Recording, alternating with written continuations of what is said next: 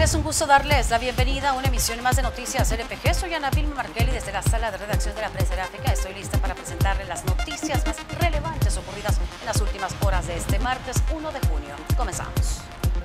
La congresista estadounidense Norma Torres denunció públicamente que teme por su vida y por la de su familia, ya que asegura que está siendo acosada por supuestos simpatizantes del presidente del Salvador, Nayib Bukele. Todo inició luego de que el mandatario hiciera un llamado a la comunidad hispana a no votar por Torres y a repudiar sus acciones después de haberlo cuestionado y acusado de corrupción a través de unos tweets.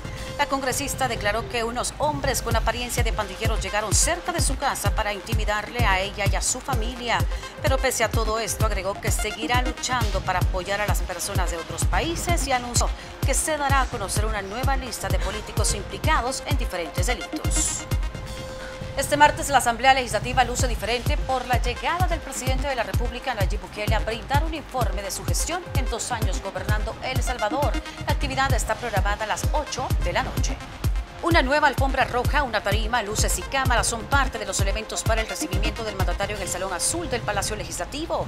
Todo está siendo preparado desde la semana pasada y aunque no brindaron detalles del gasto, los diputados oficialistas dicen que todo este procedimiento debe hacerse.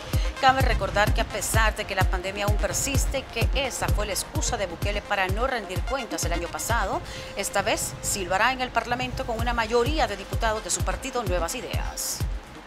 Para asumir su cargo como encargada de negocios de la Embajada de Estados Unidos en El Salvador, este día arribó al país Jane Mays, quien releva a Brendan O'Brien en el cargo. En su discurso brindado en el Aeropuerto Internacional de El Salvador, la diplomática se refirió a la situación que actualmente se vive en El Salvador. En el centro de esa mayor asociación con los Estados Unidos y de aprovechar de estas oportunidades tremendas se encuentra el apoyo a la buena gobernanza, reflejados en el Estado de Derecho, la separación de poderes, una prensa independiente y libre. Mays fue embajadora de Estados Unidos en El Salvador entre 2016 y 2019 y hoy vuelve al país para representar nuevamente a la nación norteamericana. Por el delito de cohecho activo y tráfico de influencias, la Fiscalía General de la República pide 70 años de prisión para Víctor Melgar González, abogado vinculado al expresidente de El Salvador, Elías Antonio Saga. Según el Ministerio Público, Melgar está implicado en siete casos en los que presuntamente realizó dichos delitos. Las investigaciones indican que el profesional sobornaba a jueces y a empleados judiciales para obtener beneficios.